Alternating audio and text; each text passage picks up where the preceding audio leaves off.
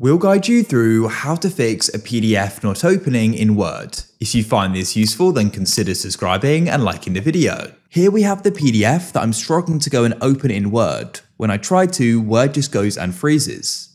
The first thing you can try doing is simply closing Word and then you can reopen it up again and then go and see if you can then go and get it to go and open up. We can click on open, go and click on browse, and you can go and find the PDF and double click on it and go and see if it then goes and opens. In this case, it has. However, if that doesn't work for you, then what you want to do is go and open up a web browser. You want to go and search for a website called I Love PDF. And what we can do is we can go and convert the PDF to a Word document online, and then we can go and open it up in Word. So click on PDF to Word. You can then go and select your file, and you can go and open it up. Then you can go to the bottom right, click on Convert to Word. We can click on Download Word, and it's now downloaded. And then what I can do is go and open up my file explorer. I can click on downloads to the left. And then what I can do is go and open up this file. And here it is. We can then go and open it up. So that's an alternative way. If you found this useful, then leave a like.